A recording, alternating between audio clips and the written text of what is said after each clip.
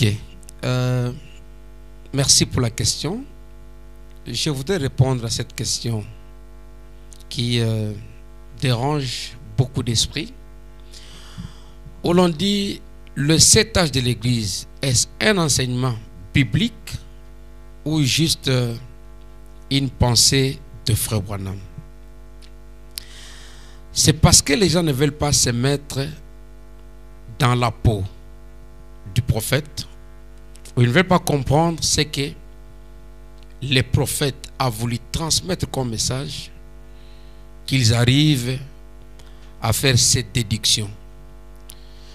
Le terme cet âge de l'Église n'est pas tiré de la Bible.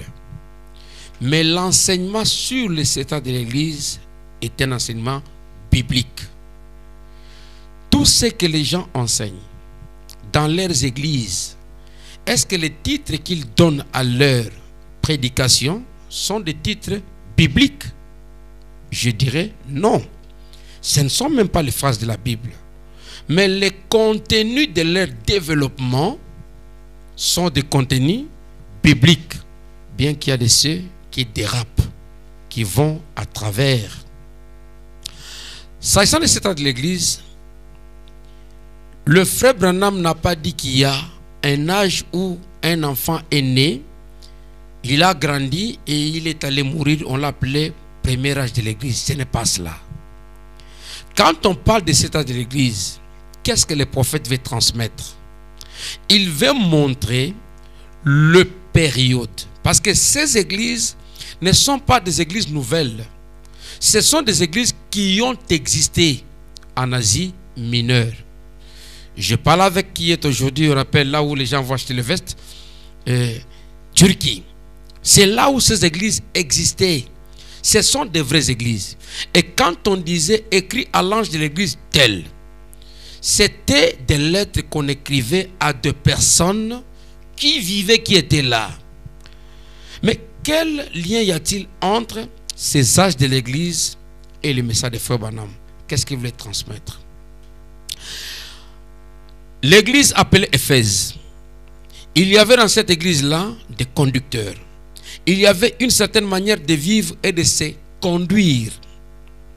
Quand l'église, l'évangile est venu chez nous les gentils, là c'est les gentils, après la propagation de l'évangile chez nous les gentils, les comportements, les habitudes affichées dans l'église appelée église d'Éphèse, qui était une église physique, cette manière-là s'est répercutée de telle période à telle période.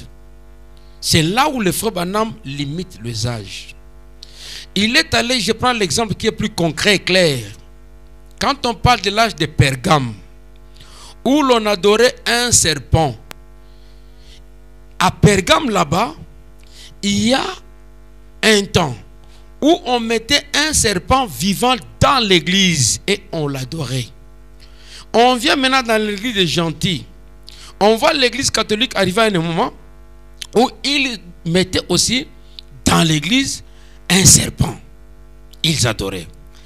Ça ne veut pas dire que le frère Branham a tordu l'essence de ce qui s'est passé à Turquie, en Asie mineure. Mais il prend les habitudes, les comportements de toutes les églises citées là-bas dans la Bible avec la marche de l'église. C'est ce qu'il dit aussi dans Israël et l'église. Les gens ne comprennent pas. Il prend la conduite d'Israël. Comment Israël a évolué, comment Israël a évolué. Il prend cette marche-là, il compare cela à la marche de l'église. C'est comme ça qu'il prêche Israël et l'église.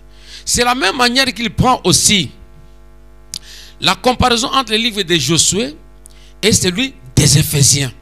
Donc si vous venez avec l'esprit de critique, vous ne recevrez rien de ce que Branham a dit.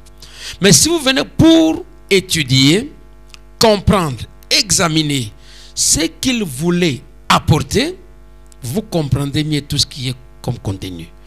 Nous aurons le temps de développer ce sujet parce que ça tape, ça plane sur l'étoile Dieu a des réponses à toutes les questions autour de la parole de Dieu. Que le Seigneur vous bénisse.